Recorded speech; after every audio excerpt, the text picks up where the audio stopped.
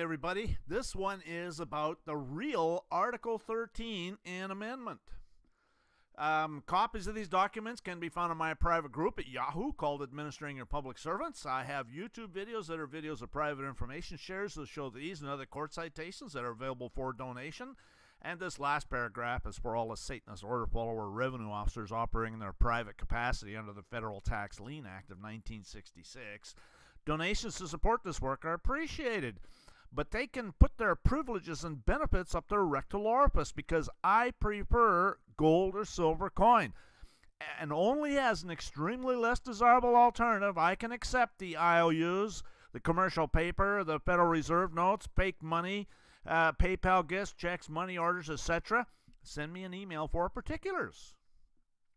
Anyways, this is a um, uh, taken from the uh, Texas State Library and Archives Commission. This is a certified copy. This was done on the 3rd of July, 2008. And there's a certification. This is on the front page. And uh, this is the, uh, the revised codes of the laws of Virginia.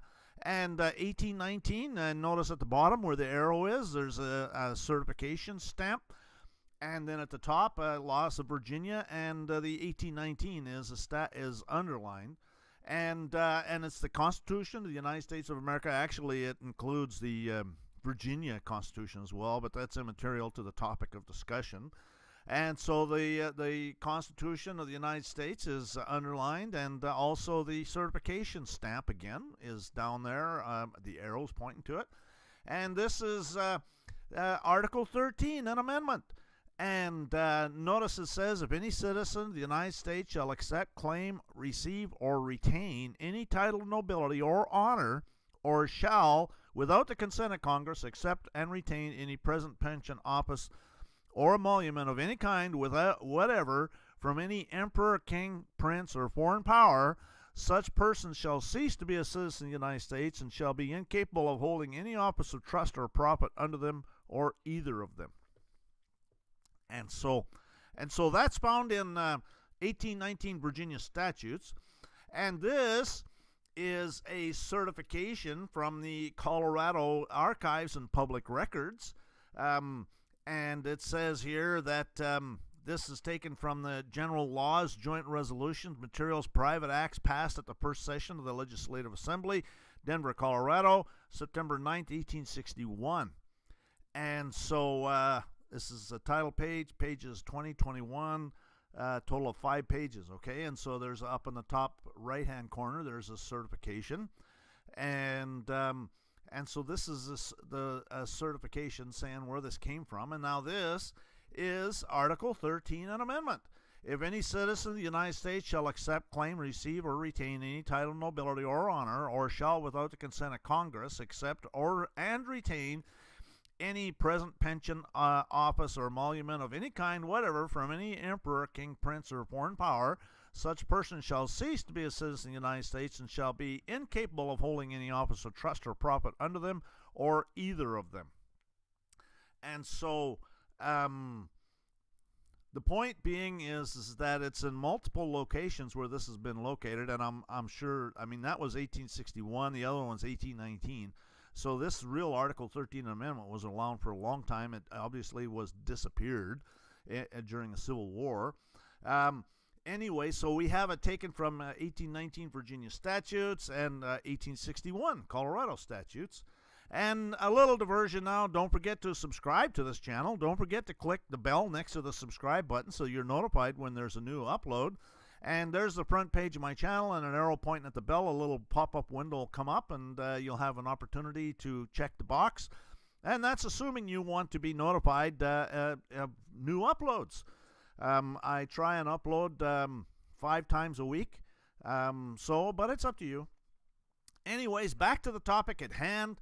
Uh, this is Avalon Project, the uh, uh, Paris Peace Treaty of September 13th, th September 30th, 1783. It's called the Definitive Treaty of Peace. And uh, the important stuff is is that uh, that I want to point out is that um, it says uh, the divine providence to dispose the hearts of the most serene and most potent King George. So, woo, he's, so he's got some big cojones, eh? Anyways, he's the point I want to point out is he's king of Great Britain and France and Ireland. Okay. He's and he's arch treasurer and prince elector of the Holy Roman Empire and of the United States of America. Now they don't put these things in a treaty unless it's relevant, okay? And uh, and so uh, King George signed the, the, the as King of England and France, and as arch treasurer and prince elector of the Holy Roman Empire and of the United States of America.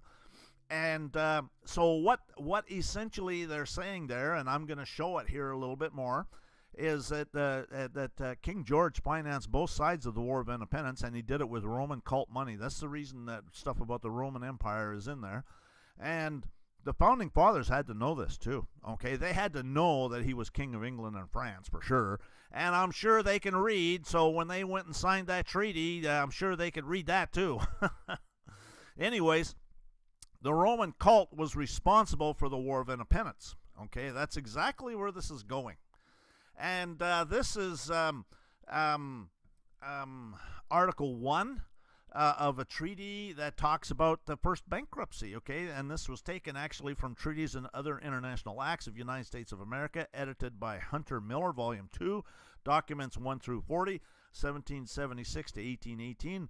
Washington, and it's printed by the Government Printing Office in 1931. Anyways, Article 1 it is agreed and certified that the sums advanced by His Majesty to the Congress of the United States under the title of a loan in the years 1778, 1779, 1780, 1781, and the present 1782 amount to the sum of 18 million livres money of France according to the following 21 receipts of the above mentioned underwritten minister of Congress, given in virtue of his full powers, by which receipts the said minister has promised in the name of Congress and in behalf of the 13 United States to cause to be paid and reimbursed to the royal treasury of His Majesty on the 1st of January 1788 at the house of his grand banker at Paris the sum the said sum of uh, 18 million uh, money of France at with interest at five percent per annum, and um, and this is a treaty between the King of France, uh, which was King George, and the 13 colonies of the United States of North America signed at Versailles. July 16, 1782. Okay, the other treaty was 1783, the Treaty of Peace. Debt was due and payable on the 1st January 1788, and this created the first bankruptcy and uh, the bankruptcy under international laws for 70 years. And so the United States emerged from that bankruptcy in 1858. And three years later, the southern states walked out of Congress, and the Battle of Fort Sumter, April 12th, uh, uh, 1861. Um, which uh, it's you know it's all about debt slavery. That's what these bankster thieves what they do. Anyways, so back to the topic of the Article 13 and Amendment uh, uh, was proposed in, in 1811. The Roman cults owned and operated Crown engaged in the War of 1812 to facilitate the quote unquote disappearance of the true Article 13 and Amendment. One of the major engagements was when the British went to the capital and burned the national the capital and the National Archives, and the ratification records would have been kept in the National Archives. And it's interesting to note that my first case when I went to the Supreme Court was against the IRS thieves and uh, and that was one of the issues I brought up. And uh, I said that the that the War of 1812 was orchestrated to facilitate the disappearance of the true Article 13 and Amendment, and uh, because the Roman cult intended that their uh, actually I call it the crown. I wasn't uh, at the point that was back in 2007. I didn't understand how the Roman cult was tied into the crown at that time and so it was the crown wanted their uh, uh, their bar members, their foreign agents of the crown, to infiltrate the government and seize control. And so they orchestrated this war of 1812. And uh, and as a result, uh, that's exactly what they've done. And the interesting thing is, is that in that case, they didn't dispute one word that I said. They waived their right to respond, which essentially admits everything. Uh, anyways, now a little diversion announcing a subscription based YouTube channel called Sovereignty International.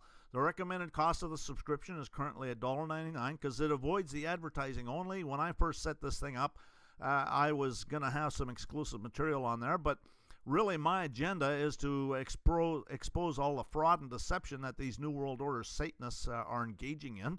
um, uh, because that's how they're enslaving us. And so it'll help everyone. And for that reason, yeah, I couldn't think of anything that I wanted to have on there exclusively. I do have a um, Arlington private information share that's on there exclusively, um, but it really doesn't have anything that any other private information share, you know, doesn't have. And so, um, uh, but you know, if you want to make a donation of $1.99 a month, it's certainly appreciated. Uh, but that's all it costs is $1.99 a month, and you avoid the advertising.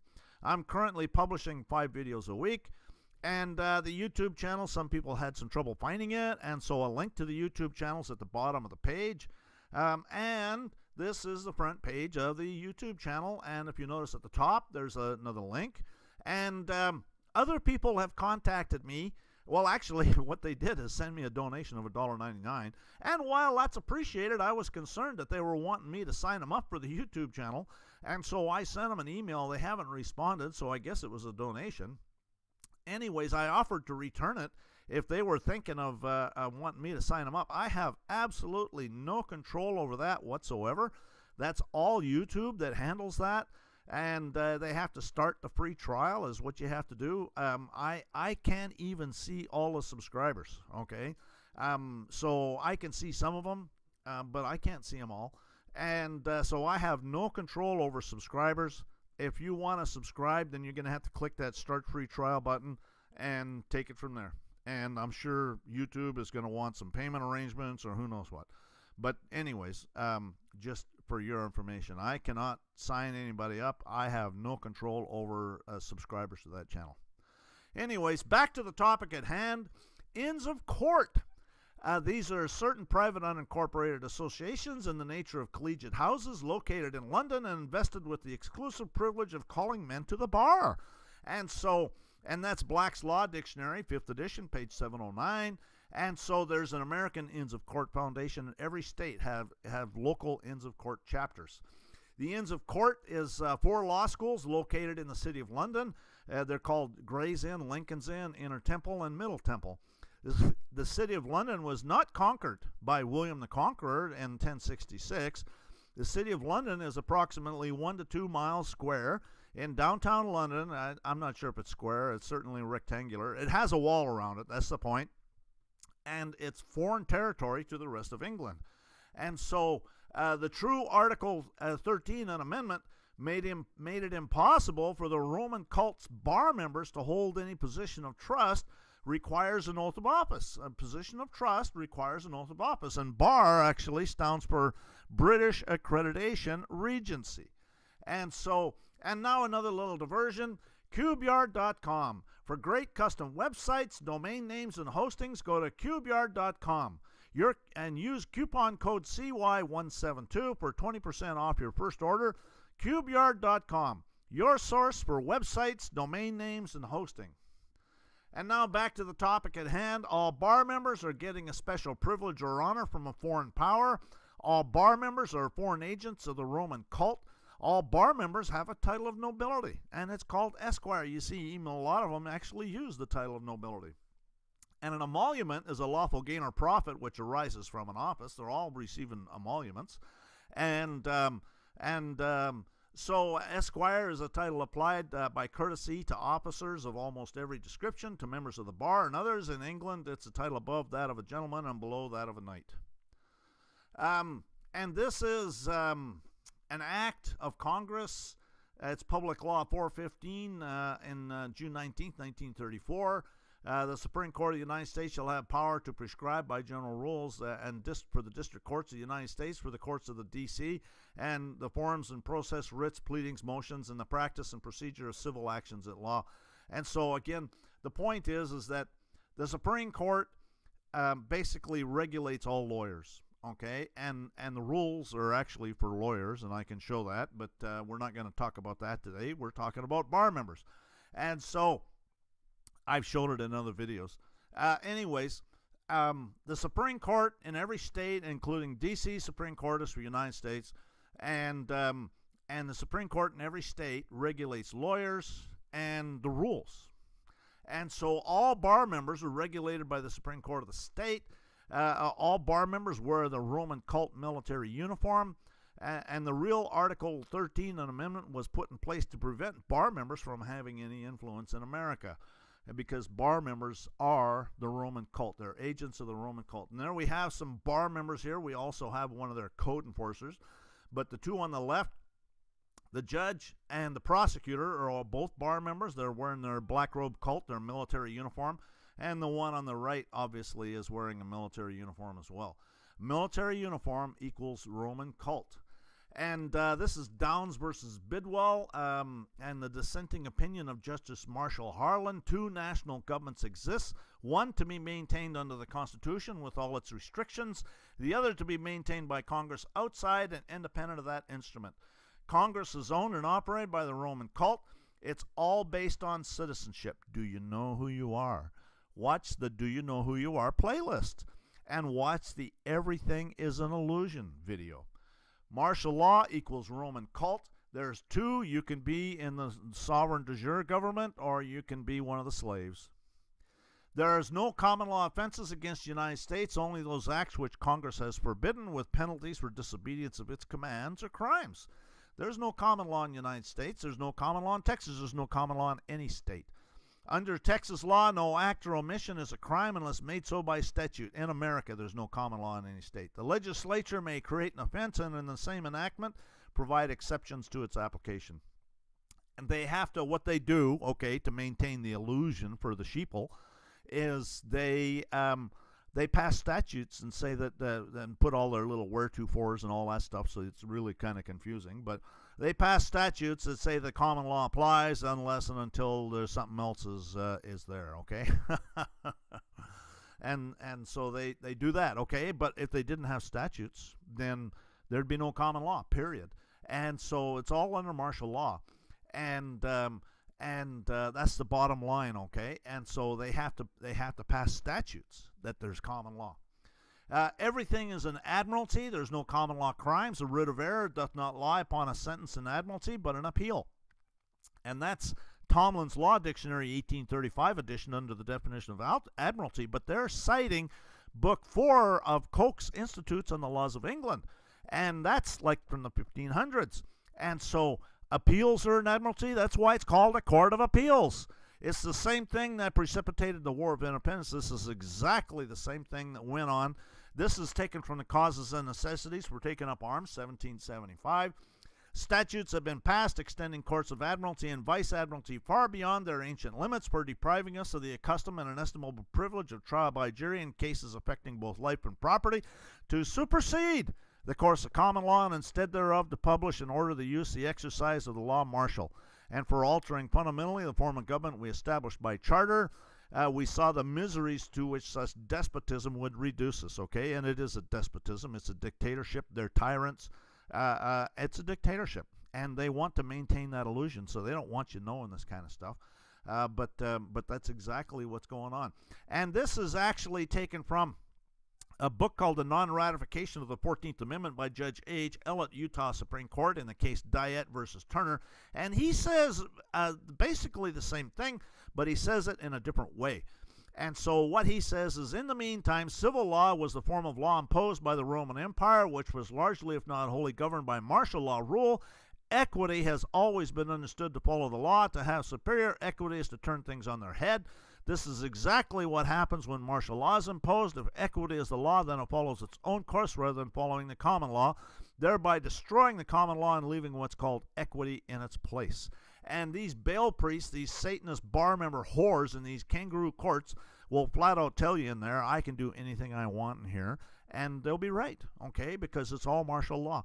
And and they'll they'll sit there and uh, um, you know it's it's all about uh, uh, they'll if you argue the Constitution, they'll sit there and they'll say, well, the Constitution doesn't apply here. I don't want to hear another word about it. Okay, and they'll be right about that too. So a penal action is an action on a penal statute, an action for recovery of penal penalty given by statute. Uh, where an action is founded entirely upon a statute, the only object of it is to recover a penalty or forfeiture. Such action is a penal action. So we're going to talk about some words, and you have to understand that anytime there's a statute, they're all voluntary. is the contract, and it's all going to the Roman cult, is where it's going. Uh, the words penal and penalty, in their strict and primary sense, denote a punishment, whether corporal or pecuniary, imposed and enforced by the state for a crime or offense. Okay, and that's so an offense has to do with penal statutes. Okay, the noun, uh, uh, because at common law, it's called a wrongdoer. Okay, an offense has to do with uh, uh, penal statutes. The noun penalty is defined forfeiture or to be forfeited for non compliance with an agreement. They assault you with one of their so called contracts. The words forfeit and penalty are substantially synonymous. A penal action is one founded entirely on statute, and the only object is to recover a penalty or a forfeiture imposed as a punishment for a certain specific offense, while a remedial action is one which is brought to obtain compensation or indemnity. A penal action is a civil suit. Okay, so then the Baal priest um, uh, gets up there and you ask the Baal priest, well, what's the nature of this action? He'll tell you it's quasi criminal. Okay, so he doesn't want to admit that it's a lawsuit. Okay, because because um, because a lawsuit they can't uh, uh, put you in jail over. Okay, but these ones they can because it's it's it's uh, uh it falls under the Roman cult. It's penal. Okay. A penal action is a civil suit brought for the recovery of a statutory forfeiture when inflicted as punishment for an offense against the public.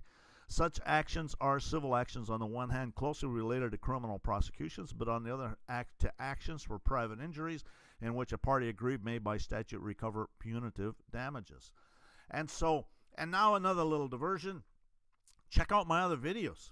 Bankster Thieves 1, 2, and 3, Roman Cult Slave Scam Series, Bankrupt Corporate So Called Governments, Bar Members 1 through 3, Do It Yourself How Not to Volunteer for the Selective Service in the Draft, Martial Law is Here, No Do It Yourself No Income Tax, Do It Yourself No Sales Tax, Do It Yourself Traffic Stop 1 and 2, Do It Yourself Free Mail, and Do It Yourself Kangaroo Courts 1 through 9.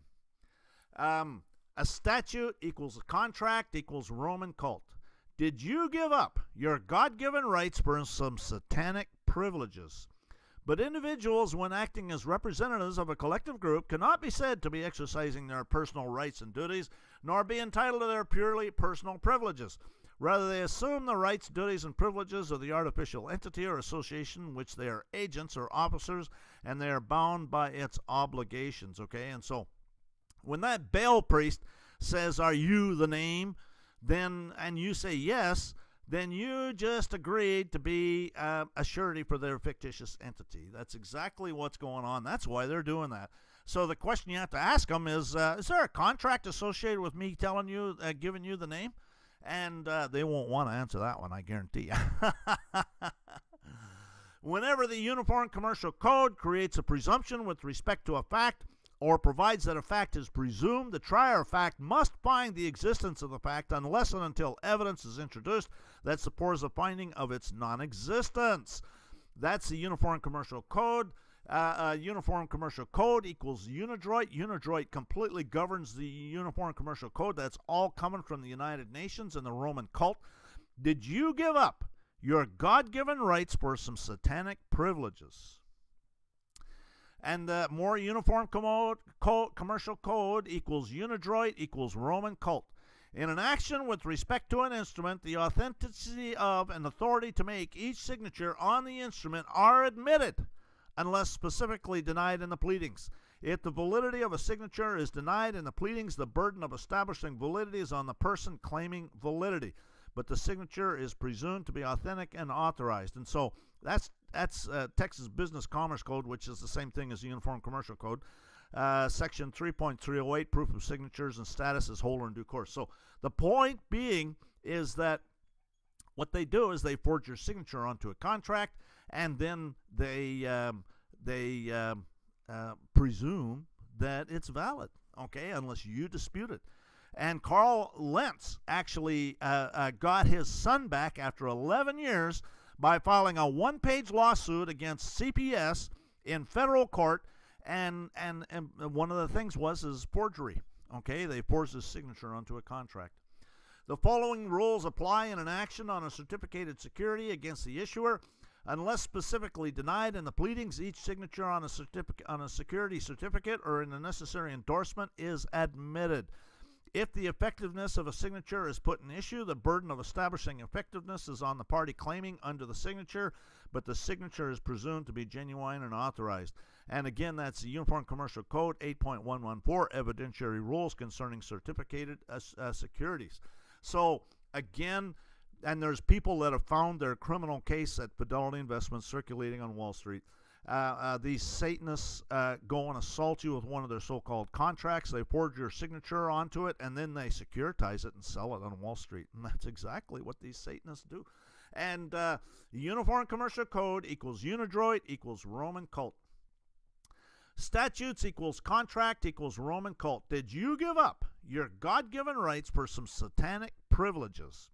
These Roman cult Satanist bar member whores masquerading as judge forge your signature onto a contract and then presume it's authorized and authentic. Who's going to call a judge a liar? He's not even operating as a judge, but everybody thinks he's a judge. That is how they're populating the prisons. Karl Lentz brought up the issue of forgery against CPS when they stole his son in a successful one page lawsuit. He's got a website. Do a search. He's, you can even download the lawsuit off the internet. See the judicial horrors video. He, the convicted felon, has, as a consequence of his crime, not only forfeited his liberty, but all his personal rights except those which the law and its humanity affords him. He is, for the time being, a slave of the state, okay? I keep telling you they're selling you into slavery, and that's exactly what's going on. Here's a court case that even talks about it. Roman cult equals slavery equals anyone in prison. And at common law, they need to be put to death. Okay, if a man be found stealing any of his brethren of the children of Israel and make merchandise of him or selleth him, then that thief shall die, and thou shalt put evil away from among you. That's why they got it. The first order of business of these Satanists is to uh, is to force the government into bankruptcy, because then they can get rid of that nasty little common law problem. And and they sure they pass a few statutes that, that, that bring in common law, but only parts of it, the part that they feel like having around, so they can keep maintaining the illusion. And so that's what these Satanists do. International law is a subset of canon law. International law started with the Roman cult. Unidroit stands for the International Institute for the Unification of Private Law. Unidroit is about, located about 100 yards from the Holy See. Unidroit controls and governs the Uniform Commercial Code. Through Unidroit, the Roman cult has seized control of all courts. The Roman cult bar members are already officers of the court. See bar members 1, 2, and 3 videos. The United Nations is owned and operated by the Crown and their Roman cult handlers. Get us out of the UN now. See, the Crown is owned and operated by the Roman cult video. See, the United States is a Crown colony and the Crown owns and operates the United Nations 1 and 2 videos. Unidroit is coming from the United Nations. See the Roman cult slave scam 1 video. The United Nations maintains the international law collection, which is also coming from the Roman cult. They're using the Roman cult's international law to assault us with their fraudulent, fictitious Cestui Que Trust U.S. citizen slave. That's it's all contingent upon that slave. This is uh, the Vatican's Holocaust, a sensational account of the most horrifying religious massacre of the 20th century by Avro Manhattan, who a Knight of Malta it says here. Uh, he lived from 1914 to 1990. Avro Manhattan is the world's foremost authority on Roman Catholicism and politics. A resident of London during World War II, he operated a radio station called Radio Freedom, broadcasting to occupied Europe. He was the author of over 20 books, including the bestseller The Vatican and World Politics, twice um, a book of the month, and, and going through 57 editions. He was a Great Briton who risked his life daily to expose some of the darkest secrets of the papacy. His book, were number one on the Forbidden Index for the past 50 years, and editor's note from issue from 1986. In 2006, the record is 70 years uh, on the Forbidden Book list. And um, so the point being is, as there's more to this, okay? The Vatican's Holocaust is not a misnomer, an accusation, and even less a speculation. It is a historical fact. And this is found in the preface to the American edition. Rabid nationalism and religious dogmatism were its two main ingredients. During the existence of Croatia as an independent Catholic state, over 700,000 men, women, and children perished. Many were executed, tortured, died of starvation, buried alive, or were burned to death. Hundreds were forced to become Catholic. Catholic padres ran concentration camps. Catholic priests were officers of the military corps, which committed such atrocities. 700,000 in a total population of a few million proportionally would be as if one third of the USA population had been exterminated by the Catholic militia. Uh, what has been uh, gathered in this book will vindicate the veracity of these facts. Dates, names, places, as well as photos were, are there to prove them. They should become known to the American public, not to foster vindictiveness, but to warn them of the danger which racialism and sectarianism, when applied with religious intolerance, can bring to any contemporary nation, whether in Europe or in the New World. The, this work should be assessed without prejudice as a lesson, but even more vital as a warning for the future of the Americans, beginning with that of the USA. Avro Manhattan, 1986. That's four years before he died. Um, and our, an armed Serbia could have easily prevented this Holocaust. Thank God for the Second Amendment to the Constitution, which guarantees the right to bear arms. Freedom of religion and an armed citizenry go hand in hand and is the only guarantee that this won't happen in the U.S. Editor's note It is the Vatican one world government that doesn't want you to have the right to own arms or to use any means to defend yourself. And so the point I'm, the reason I'm bringing this up is, well, one of the reasons is this is not, even though I rail on the Roman cult and the Vatican, this is not about people who happen to be Catholic. People, I mean, there's some of my best friends happen to be Catholic, and and they're the ones that are feeding me this information, quite frankly. So it's definitely not about some of the most wonderful people on the planet happen to be Catholic, and so, but the Roman cult is satanic and uh, and bar members as another one. Okay, this is not about all bar members, although I you know haven't found too many that were worth anything. I do have a friend that's a bar member, and but he's disbarred, and I'm helping him trying to get his bar card back, which you know I hope he does for his sake. But uh, and and I know that he thinks outside the box now. Matter of fact, he even admitted. He told me he says. Uh, Two years ago, he said, I would have never believed a word you said. And he says, now I believe every word of it. So we need people on the inside that understand this stuff, you know. And so, anyways, bar members equals Baal priests, okay? The United States has the biggest prison population on the planet. Everybody in prison is there because of a bar member. The banksters get away with their thefts because of bar members. The United States makes war on foreign countries because of bar members. The pharmaceutical companies sell their drugs, which is sorcery, because of bar members. Okay, now now, uh, and there's no justice in the courts because of bar members. The literally millions of codes, rules, and regulations are brought to us by bar members. The courts are an extortion racket, is what they are. That's exactly what they are. And so let's go through these, okay?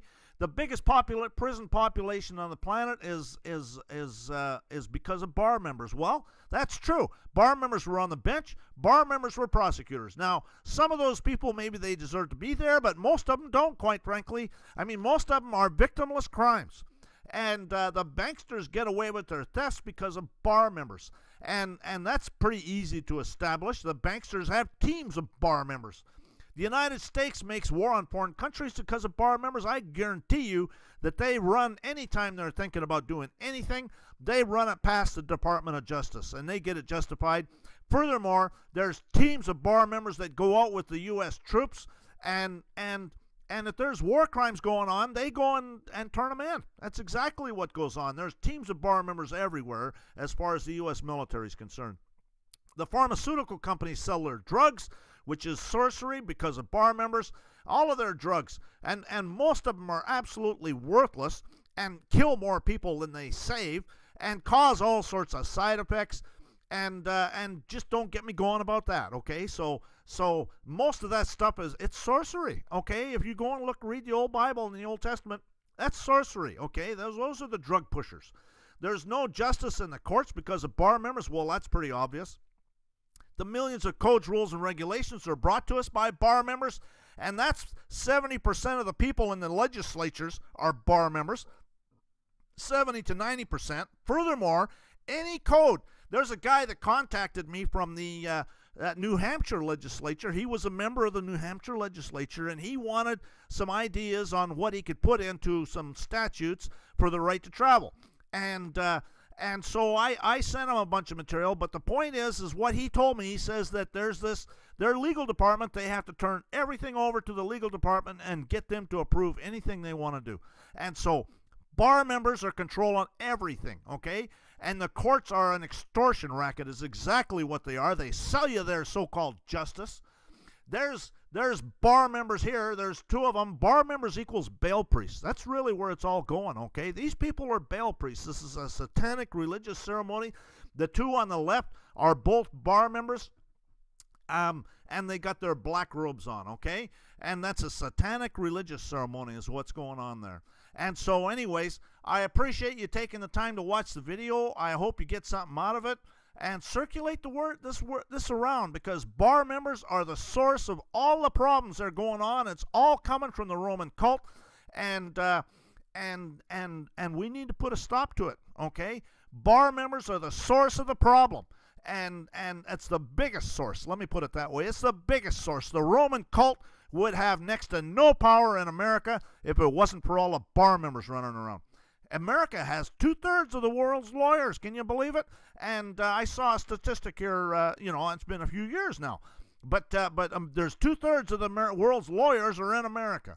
Anyways, uh, have a great day. Thanks for watching, and um, don't forget to subscribe.